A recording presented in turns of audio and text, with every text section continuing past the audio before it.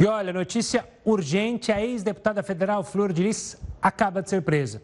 Ela é acusada de mandar o próprio marido, o pastor Anderson do Carmo, de mandar matar.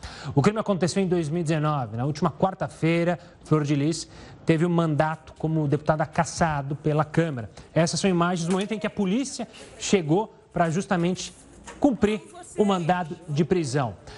Voltando a falar da Câmara, ela perdeu a imunidade parlamentar quando então perdeu o mandato. E aí o Ministério Público conseguiu pedir a prisão preventiva. Porque antes, como parlamentar, ela tinha foro privilegiado. O pedido aconteceu por causa da conduta criminosa e pelo fato de Flor Delis ter orientado pessoas envolvidas no crime a apagar as mensagens que estavam no celular da vítima e sumir com qualquer possível vestígio do crime. Nas redes sociais ela postou é, um vídeo pedindo orações por ela, dizendo que esse não era o momento, chegou o momento que ela nunca queria que chegasse, está sendo acusada de algo que ela não fez. O fato é que foram, na verdade, dois pedidos é, de prisão. Um da defesa do pastor, é, do ex-marido dela, que justamente atua como assistente de acusação do Ministério Público, e um do próprio Ministério Público pedindo a prisão dela. Então agora ela segue para prisão. A gente vai, claro, acompanhar os passos, qualquer novidade